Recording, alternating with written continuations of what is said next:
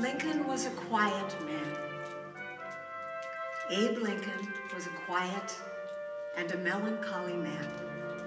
But when he spoke of democracy, this is what he said.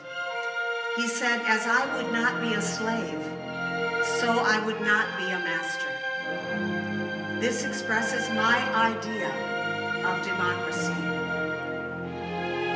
Whatever differs from this, to the extent of the difference, is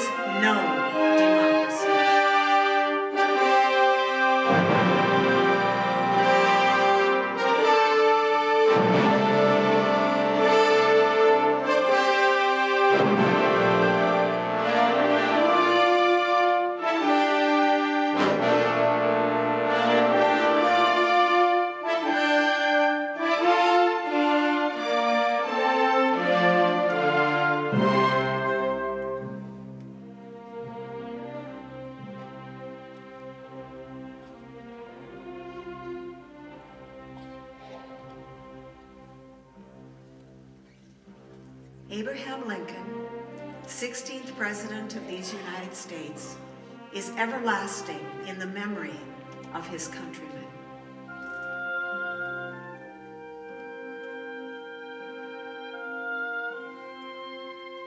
For on the battleground at Gettysburg, this is what he said.